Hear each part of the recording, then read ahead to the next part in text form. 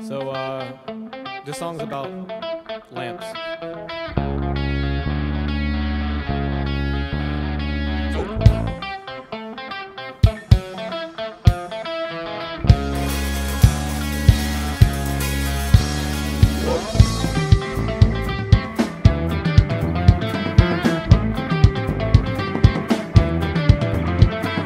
Life is strange